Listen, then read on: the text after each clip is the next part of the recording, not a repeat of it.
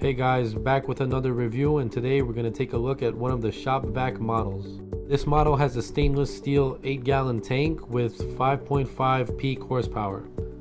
The first test I put it through was tackling some dirty floor mats and car flooring. I tried different accessories to see which would pick up this debris the easiest, but they all seem to be about the same. It has a friction fit hose, 3 extension wands, a 10 inch wet dry nozzle, a gulper, crevice tools, a tool holder, a cartridge filter, and the collection bag. I was expecting an easier suction, but it seemed like you really needed to break the dust free from the mat for it to get picked up. With a little extra effort, it did get the job done. This shop vac, like most shop vacs, also has a rear blow port which can be used for blowing things like leaves. These leaves, on the other hand, can also be vacuumed, although the nozzle head is a bit small and it does get clogged every now and then.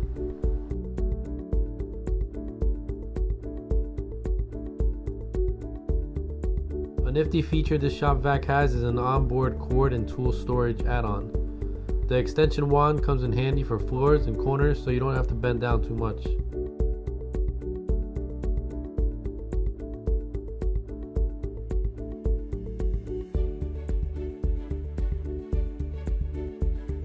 If we want to switch from dry to wet, all we have to do is remove the collection bag and put the head unit back on.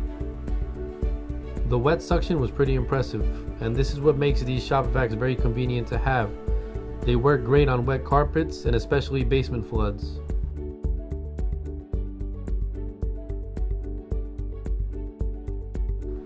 This was my favorite part, and this footage isn't sped up, it's shown in real time.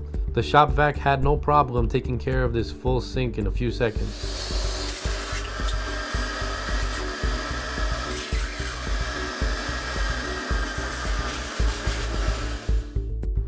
So that's it for the shop vac.